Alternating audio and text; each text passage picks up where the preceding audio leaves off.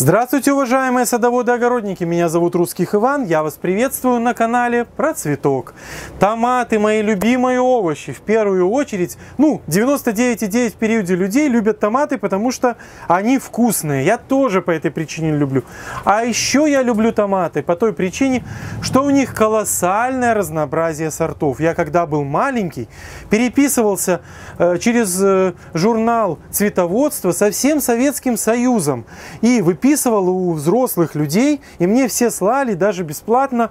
А родители, если там надо было что-то заплатить, платили различные сорта различных растений. Мне это очень нравилось, и я эту любовь к разнообразию сортов сохранил до сегодняшнего дня и сделал одной из своих профессиональных деятельностей.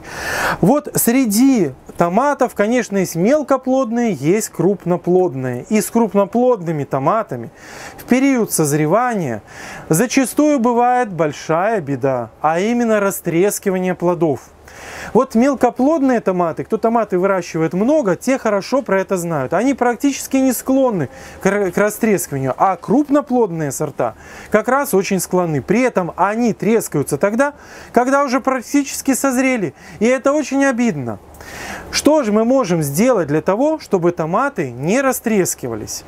Вот э, еще раз упомяну я кое-что о сортах ближе к концу нашего ролика. Обязательно посмотрите, это интересно, это то, то, то, о чем я люблю говорить на самом деле. Итак, одной из главных причин э, растрескивания томатов является неоднородный полив.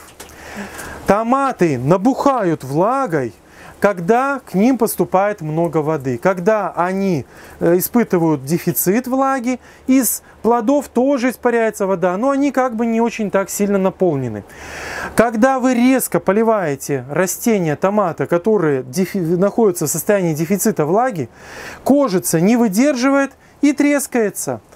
Это что чем-то похоже на гипертонию, понимаете? Когда вы много, да еще соленого поели, у вас повышается артериальное давление, ну сосуды, слава богу, не лопаются у большинства, ну а если лопаются, то уже инсульт. Вот что-то подобное происходит с томатами.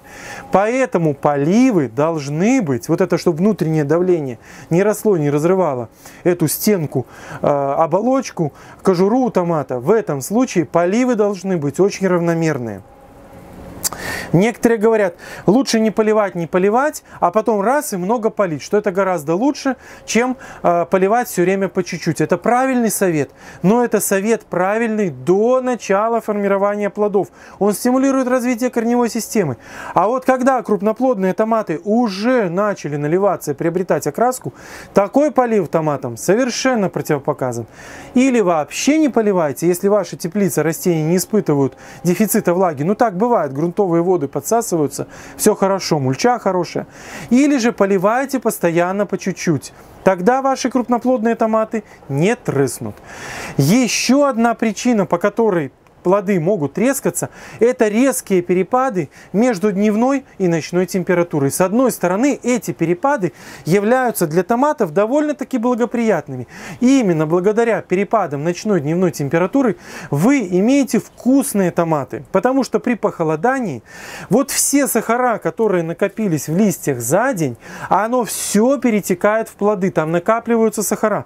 Если температура выровнена, если вы плотно укупориваете теплицу, на ночь. В этом случае перетекание сахаров в плоды нарушается. Вы получаете безвкусные, белые, там, несладкие, кислые томаты.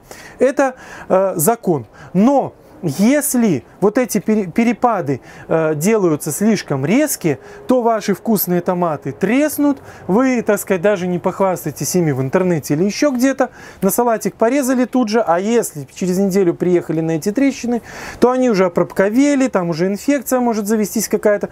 Но, в общем, они не транспортабельны, весьма неблагоприятное явление. Что же делать? С одной стороны, укупорить полностью, это еще и повысить влажность и нарушить вот это э, накопление сладости, сладости в томатах, с другой стороны раскрыть настежь теплицу, это, ну, вызвать потрескивание томатов. Здесь всегда нужно выбрать в таком случае золотую середину. Не, откры... не закрывайте, а прикрывайте вашу теплицу. Ну, закройте форточки наполовину, и это будет хорошо. Кроме того, э, вы можете застелить, но это надо делать заранее, конечно, при посадке, поверхность вашей теплицы черным спанбондом или даже пленкой, пленкой черной. В этом случае растения будут испытывать меньше дефицита влаги, поступление влаги будет более равномерным, если вы пленкой закроете, а также разогреваясь, вот этот самый верхний слой почвы и вот эта вот пленка и этот спанбонд черный будут смягчать перепады с ночными температурами. Еще одной причиной э, растрескивания томата является избыток азотных подкормок. Представьте, что на азотных подкормках томаты начинают, все начинают расти, понимаете, как тесто на дрожжах. Это примерно то же самое, если вы хотите есть э, тортики в течение недели перед сном, а потом раз и решили одеть, так сказать, узкие джинсы. Катастрофа будет, правильно? И точно то же самое происходит с томатом. Когда вы э, избыточно кормите растения азотом, увлекаетесь э, органическими подкормками, это совершенно неприемлемо. Многие блогеры говорят, вот, кормлю томаты, будете тазиками снимать, беру навоз, беру помет куриный, там разбодяжили, дрожжей добавили, подкормили, э, вот будете тазиками снимать. Может и будете, но будете снимать исключительно потресканные, с накопленными нитратами томаты. Ну, а если еще будете, потому что если зажируют, то пиши пропало. Следующая причина, по которой томаты также могут растрескиваться, это механические повреждения завязи. Э, и я рекомендовал, и многие блогеры толково рекомендуют для того, чтобы э, томатов завязывалось больше, их необходимо потряхивать, немножечко опылять. Тогда у вас образуются такие полноразмерные кисти томатов, красивые, много плодов, равномерных, гладких, э, товарных, то, что называется. Но если вы будете трясти трясти их слишком усердно в этом детском состоянии, то во взрослом состоянии они могут треснуть. Здесь будут микротрещинки вот на пестике, на завязи. И потом вот эти места, где э, механически немножко эти завязи нарушены, э, там могут образовываться э, впоследствии трещины. Ну, как бы сказать, ткань будет слабая, понимаете? Там, там, там, где тонко, там рвется. Вот это тот самый случай. Ну и как я обещал, я скажу, что есть сорта, и не сочтите это за рекламу. Я абсолютно не рекламирую, вообще ни, никаким образом. Э, э, говорю совершенно объективно. В основном эти сорта для любительского овощеводства выпускает фирма-партнер. Мне, вот э, это я уже на опыте точно вам скажу. Э, не все мне в партнере нравится у этой фирмы, не все сорта, но у них вот что, что есть, то есть. У них сорта устойчивые к растрескиванию. Так вот, есть сорта крупноплодные, но устойчивые к растрескиванию. Поэтому, ну, вы, кстати, можете поделиться в комментариях э, относительно сортов, у которых вы никогда не видели растрескивания или которые трескаются довольно часто.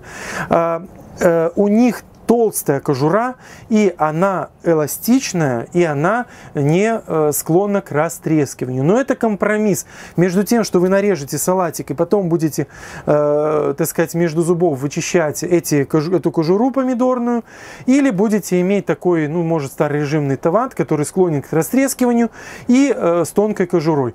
Вот, э, вот эти сорта, которые с толстой кожурой, они, безусловно, очень хорошо консервируются.